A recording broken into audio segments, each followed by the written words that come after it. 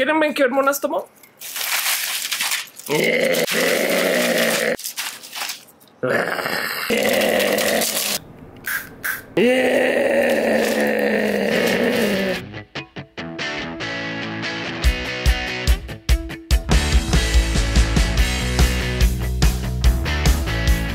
Amigos, ¿qué tal? Bienvenidos a Diagnosis. Yo soy Ophelia Pastrana, of course en Twitter y este es mi espacio en mi canal de YouTube donde yo hablo de todo lo trans, todo lo que tenga que ver con temas de género, todo lo que me pregunten ustedes aquí abajo. Al final del video hay una sección de preguntas y respuestas donde tomo todo lo que veo que se escribió en el video anterior que siento que vale la pena mencionar y platicar. Dejen comentarios porque la idea es que entre todos platiquemos y demás. Hoy quiero hablar un tema que me han preguntado mil millones de veces y que siempre me he querido alejar o no me acerco, no siempre les doy como la respuesta completa y es el tema de hormonas. ¿Qué hormonas tomas, Ofelia? Pero para mí el tomar hormonas y hablar de las hormonas de por sí es un problema. Primero que todo es fenomenalmente irresponsable hablar de hormonas porque cuando tú dices no, yo estoy tomando no sé cuánto de primo o cosa, alguien que va a ver el video va a salir corriendo, a ir a la farmacia y va a decir me puede dar dos de primo cosa, por favor, es que quiero ser mujer. Y eso es fenomenalmente irresponsable como mujeres y como hombres trans. No es tan sano andar diciendo sobre todo dosis, medicinas y que estamos tomando. Vale la pena para apoyar a alguien y demás, pero estas son decisiones que un endocrino tiene que tomar por ti, porque va con tus sangres, porque va con tu modo de vida, porque va con quién eres. Pero les quiero hablar de un tema que me ha saltado porque veo que es algo muy recurrente entre las chicas trans y es un tema que normalmente entre chicas cisgénero tienen el lujo de lidiar desde muy chiquitas con sus madres o con sus hermanas o con sus primas o sus abuelas o hasta sus padres y la gente que los rodea mientras están creciendo. Y es el tema de belleza. Nosotros que transicionamos mucho más allá de la edad en la que muchas personas pasan por su pubertad, no siempre tenemos el lujo de tener este núcleo familiar para que nos dé este apoyo y cariño y confianza y nos haga creer en nosotras de tal modo que entendamos que no siempre hay que buscar belleza para salir adelante en vida. La cultura de la belleza es horrible y no más para dejar en claro, yo estoy totalmente de acuerdo que hay poder en belleza. De hecho, estadísticamente la gente más bella gana más dinero, la gente más alta sale más adelante en posiciones laborales y hay una cantidad de bienes asociados con ser una persona guapa. Y el problema dentro de lo trans es que nosotros no tenemos muchos modelos de rol. Ahí les dejo una que siempre me ha saltado. Nomi en Sensei es una chica fenomenalmente bella que para mí me vuela los sesos que la hayan puesto en cámara y que le hayan dado un espacio abiertamente transgénero. Y hay mucha gente que me ha preguntado si es realmente trans, porque la cultura transgénero latinoamericana sigue la cultura de la belleza latinoamericana, donde la transnorma normalmente se presenta como chicas buchonas, súper operadas, 36 cosas en la nariz, el rostro, maquillaje por todos lados. Y no más escuchen la voz de Nomi. For a long time, I was afraid to be who I am because I was taught by my parents that there's something wrong with someone like me. ¿Cuántas mujeres trans hemos escuchado hacer esa voz súper elevada? Además, no sé qué, que la entiendo. Yo me operé mi voz, pero porque piensan que una mujer no puede tener la voz baja. Siento yo que lo que está pasando acá es que nosotros somos un segmento de población con muy baja autoestima. Por eso es que en cada esquina nos dicen cómo vivir, que no deberíamos de vivir, que somos, que no somos, que no te llamas así, que si te llamas así. Y por consecuencia que hemos víctimas a la vez rapiña de la cultura de la belleza, donde tenemos que cumplir con el consumo de todos estos productos y pasar por todas estas cirugías y hacernos creer que somos tanto más porque tenemos el cabello de un color de un modo, una forma u otra. Y sí tengo que dejar en claro que para este video me maquillé, me arreglé, me vestí y además me tomé el tiempo de grabarle cierto ángulo y demás. También soy víctima, pero a mí me huelen los sesos cuando yo hago videos para Platzi Canvas donde hablo de ciencia, tecnología, filosofía, que el primer comentario es tu maquillaje está feo.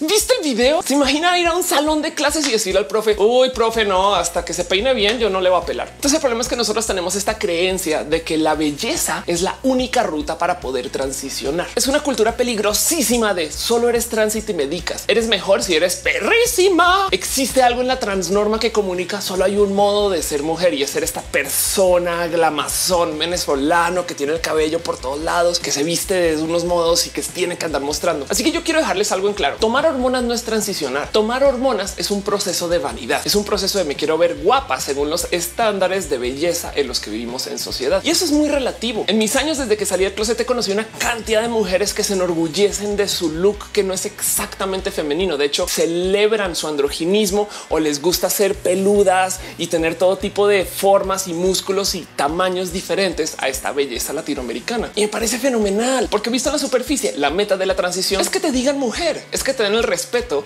de que tú eres quien quieres ser y tu decisión es alinear tu mente y cuerpo para presentarte como una persona fémina. Y por consecuencia, el día que te digan adelante, señorita, eso es. Pero la educación es que no solo es ser mujer, sino ser mujer re que te re guapa es entrar un binario imposible que ni siquiera las mujeres cisgénero pueden cumplir. Estamos sumidas dentro del pasar o no pasar. Te confunden con mujer, te confunden con hombre. El problema de vivir en el binario es que mientras más niegues tú que eres una persona que no puede cumplir con el binario y está hablando de mujeres trans y cisgénero, más te niegas la capacidad de sentirte bella y por consecuencia más impulsas tu soledad. Yo he hecho una cantidad de dietas y ejercicio en mi vida, pero siempre me asombra que hay gente que tiene ligeros temas de sobrepeso en su cabeza y ya con eso entonces entran en una vida súper saludable y con eso sienten que tienen que compensar por lo que en su cabeza es una falta de belleza. Es lo mismo con la gente trans que no siente que es guapa y por consecuencia pasa por 16 cirugías, todo el día va a estar hablando de maquillaje y belleza y siempre se va a querer presentar de modos que busquen esa aceptación en el ojo del tercero. Y lo que está roto aquí es que la imagen de la mujer que estamos generando como mujeres trans es la imagen que cualquier feminista diría es creada por la mente del hombre de la perfección femenina. Entiéndase, ¿quién dijo que para ser mujer tienes que tener cabello largo, maquillarte, operarte todo? Lo triste es que esta es la gente que consistentemente me topo que viven solas quejándose de su distancia y de su no aceptación. Pero la jerarquía de deseos y necesidades de Maslow, sexualidad y autoaceptación están mucho más allá después de pasar por aceptación de cuerpo. Es muy evidente que no puedes tú pedir que alguien te quiera a ti si tú no te quieres a ti. Pero quiero volver al tema de hormonas. Por mera lógica, no puedes tomar hormonas de por vida. Tu cuerpo no va a responder del mismo modo cuando tengas 40, 50, 60, como cuando tienes 20 y 30. Nosotras estamos obligándonos a pasar por una transición química pensando que eso es ser trans, que por eso eso es que tú te vuelves mujer. Es como si dentro de la botella dijera elixir para transformar. Y es un mensaje peligroso. Hay que pensar que, por ejemplo, hay una cantidad de doctores que viven de entregar estas pastillas. O sea, ganan cuando se entregan las pastillas. O sea, te obligan a ti a sentir la necesidad de que la tienes que tomar. Aplica para antidepresivos, aplica para medicamentos de piel, de estómago y por supuesto aplica para las transiciones. Claro que te van a decir sí, no vas a poder ser mujer hasta que tomes todas tus hormonas y después de mucho tiempo te operarás, que es un juego muy peligroso para nosotros que vivimos en la Ciudad de México que tenemos acceso a la clínica Condesa, que es este lugar que te regala las hormonas, estamos obligadas a comprobar que tenemos que ser mujeres binarias. O sea, literal te sientan y te dicen, te sentiste mujer desde pequeña y tú así de tengo amigas que les han dado lata porque tienen su cabello corto y entonces de cierto modo están obligándonos a hacer esta imagen y según ellos la transición es química porque tienen que pedirle dinero al gobierno para poder existir como clínica. Y por mera experiencia trabajar en el ámbito de televisión, radio, belleza, moda, todas las mujeres que son absurdamente guapas han pasado por cirugías y yo les hago esta pregunta. ¿Qué es más peligroso? ¿30 años de tomar pastillas y hormonas o dos o tres cirugías que te remodelen del total y de cierto modo en adelante haces mantenimiento? La verdad es que ambas son peligrosas. La verdad es que no hay una solución sólida a eso. Pero si para tener senos siempre te tienes que operar, pues entonces ¿para qué tomamos hormonas para tener senos? Muchos doctores de hecho, por ejemplo, no recetan progesterona, que es la hormona que ayuda a que crezcan mucho porque lleva a depresión. Y lo que está bien roto en las hormonas es que justo como vivimos con muy baja autoestima, porque entre nosotras no aprendimos, porque nuestras mamás no nos enseñaron a querernos, porque nuestras hermanas no nos enseñaron a aceptar nuestro cuerpo. Entonces las hormonas representan nuestra transición y son nuestras pastillas felices. La vida es una mierda, me trataron mal, no me dejaron subir al camión porque me dijeron caballero, no me dieron comida, no sé qué, bla, bla, bla. Ay, pero tomo mi pastilla y con eso me calmo. Y lo sé por experiencia, he estado ahí muchas veces porque siempre pienso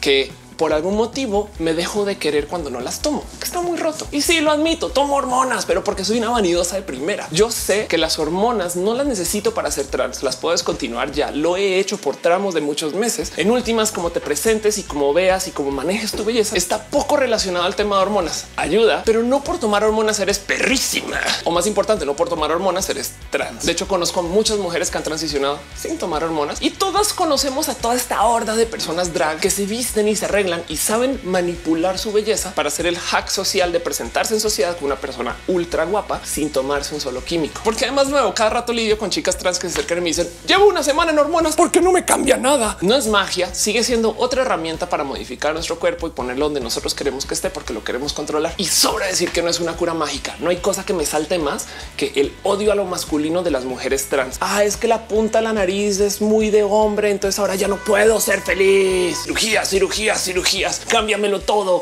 No puedo tener absolutamente nada masculino porque por algún motivo nadie nos enseñó que somos bellas como somos y que nuestro cuerpo es uno en un millón y que hay una cantidad de mujeres cisgénero que tienen todo lo que nosotras no nos aceptamos dentro de lo trans, que son altas, que son chaparras, que son peludas, que tienen orejas de hombre, que caminan diferente, que se visten diferente, que no se saben vestir, que no se saben maquillar. Hey, yo me maquillo con las patas y ni me importa. En últimas, entiendo que hay un estándar de belleza, pero si me dieran a elegir, yo prefiero ser como Nomi despreocupada con su voz como es, que como cualquier mujer trans hipramodelo que en últimas vive atrapada dentro de un no cumplir porque eso es lo que hace la industria de la belleza. Vámonos con las preguntas.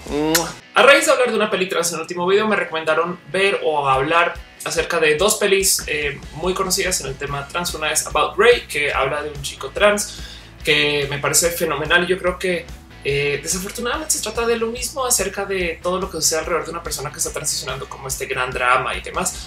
Pero vuelve y juega la misma lógica. Es mejor que exista a que no. Mucha gente piensa que lo trans es hacerse mujer y ya no se les cruza por la cabeza que eh, hay muchos más modos de transicionar.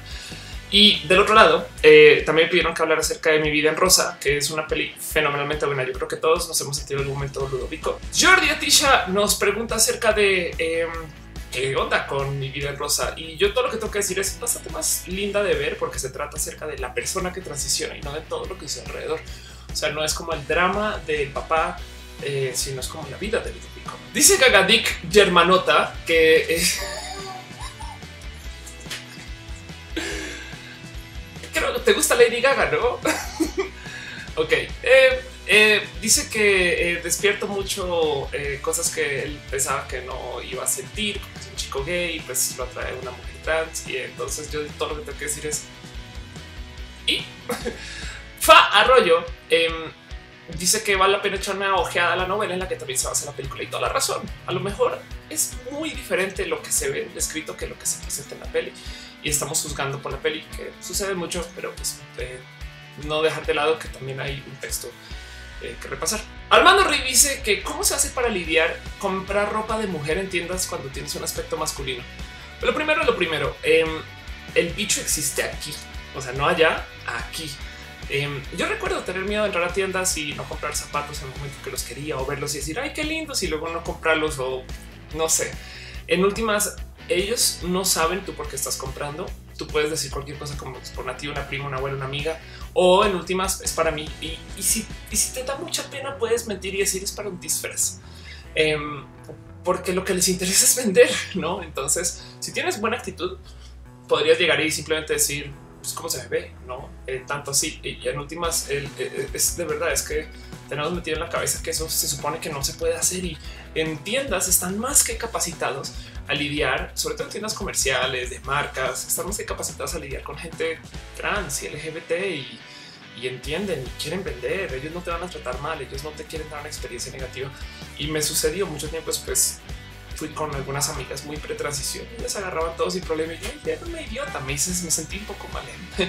Pero bueno, Sixtagésima, un abrazo especial. Dice que qué onda con About Ray.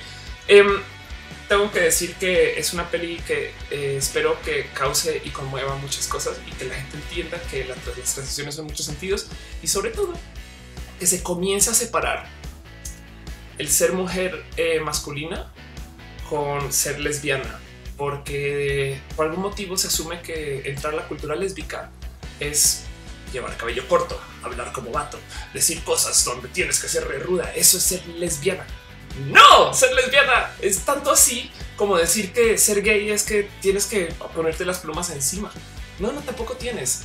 En últimas, estamos mezclando eh, identidad de género con identidad sexual y me gustaría que About Ray contribuya para eso. Raimundo pregunta de qué son mis tatuajes. Estoy tatuada eh, una, dos, tres, cuatro, cinco, seis, siete veces, pero te muestro los de mi brazo. Les había mostrado otro video. Estos son mis orgullos. Este es mi gatito Matu que cuando llegó a casa, eh, él no podía decir miau, sino decía Mau, que era irónico porque yo era Mauricio antes. Entonces yo qué pedo con mi gato que me dice Mau, Mau, Mau, Mau, Mau todo el día. Este y lo tengo ahí para recordar. Y este es eh, uno de los tatuajes. Y estas em, eh, son mis orgullos: la bandera trans, la bandera LGBT, la bandera colombiana y la bandera de México. Y los traigo conmigo, sobre todo porque me gusta vivir em, lo que me recuerda lo feliz que soy en la piel. Yo soy trans. Eh, muy trans, quizás no sé cómo ponerlo, pero no quiero que ser trans sea algo de casa y de guardar, sino que sea algo ahí. Yo soy Felipe Pastrana, mil gracias por ver el video, compártanlo con sus amigos y ayúdenme a que se vuelva más conocido para que luego tengamos un gran espacio para discutir y debatir cosas. Y si no es aquí, díganme dónde y yo voy para allá. Los quiero mucho.